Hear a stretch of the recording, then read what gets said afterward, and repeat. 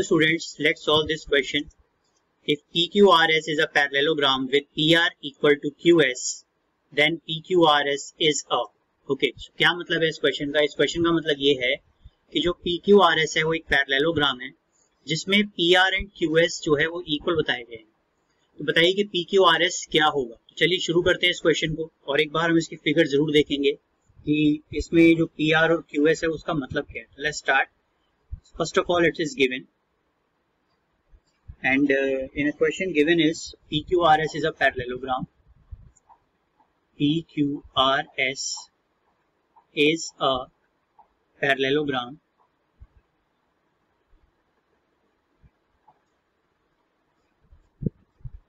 such that PR is equal to QS right तो चलिए एक बार इसकी फिगर देख लेते हैं ओके सो ये है फिगर इसकी, जैसे कि आप देख सकते हैं कि पी क्यू आर एस हमने पैरेललोग्राम ले लिया। और जैसा हमें क्वेश्चन में गिवन है P R is equal to Q S P R is a diagonal Q S is also a diagonal तो चलिए देखते हैं कि इसका रिज़ल्ट फाइनल क्या आने वाला तो स्टार्ट करते हैं अपना सॉल्यूशन सबसे पहले, हम यहाँ पर दो ट्राइंगल्स ले लेते हैं इन फिगर में से। सबसे पहला ट्राइंगल ले लेते हैं Q R S and second is P S R P S R and Q R S तो देख लीजिए। आप कह सकते हैं इन triangle P S R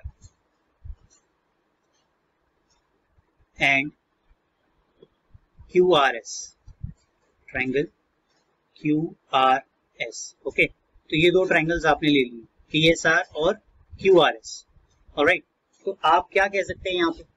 आप यहाँ पर ये कह सकते हैं कि Q R is equal to P S okay जरा लिख देते हैं इस चीज़ को।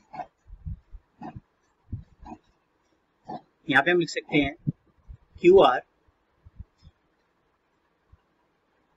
is equal to P S okay because opposite sides of parallelogram is equal तो आप लिख सकते हैं।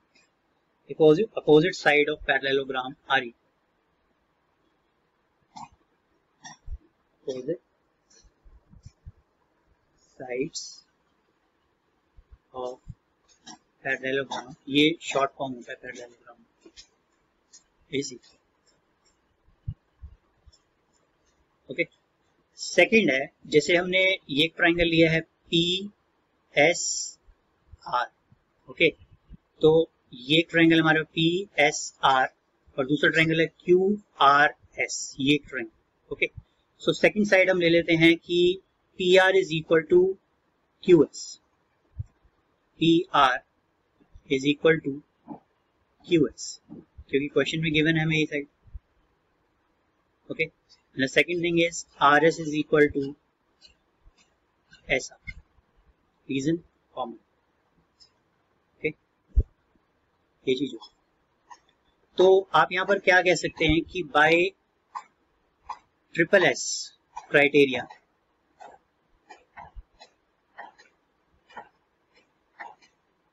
triangle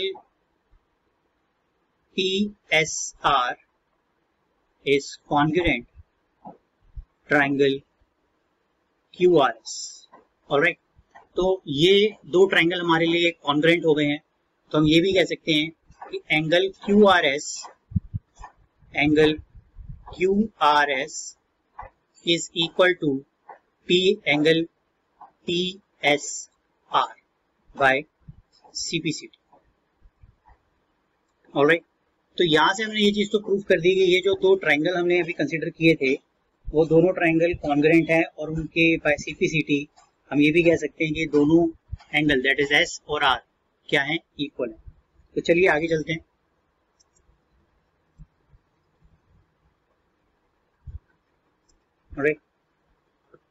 Now,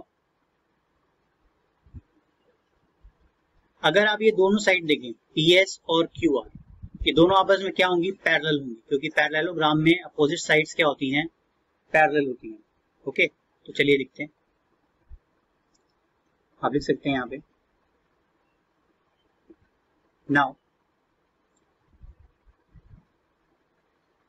PS parallel are उसका आप रीजन लिख सकते हैं। Opposite sides of parallelogram opposite sides of parallelogram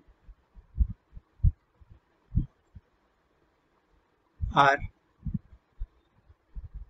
parallel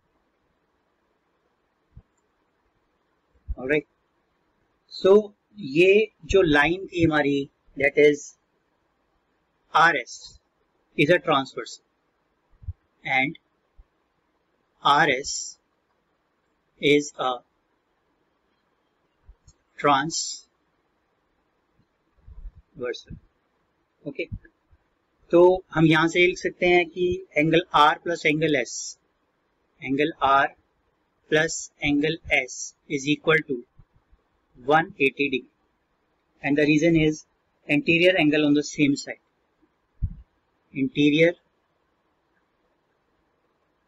angles on the same side. Same sides of transversal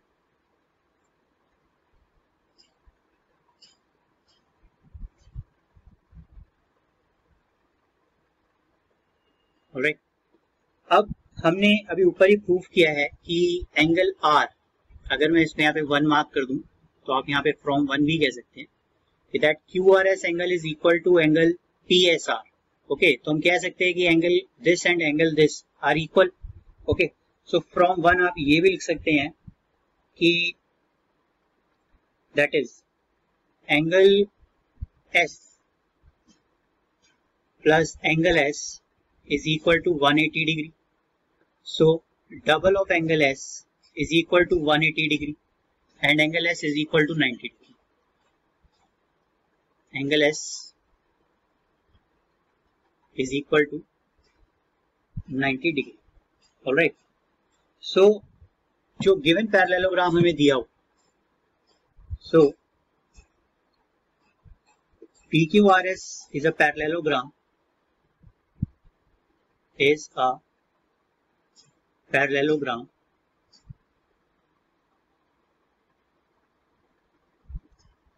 with one angle 90 degree with one angle 90 degree okay so हम अपना final answer क्या लिख सकते हैं therefore P Q R S is a rectangle therefore PQRS is a rectangle. Alright, and the correct option is C.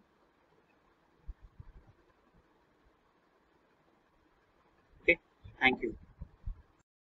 I hope your doubt is clear with this video.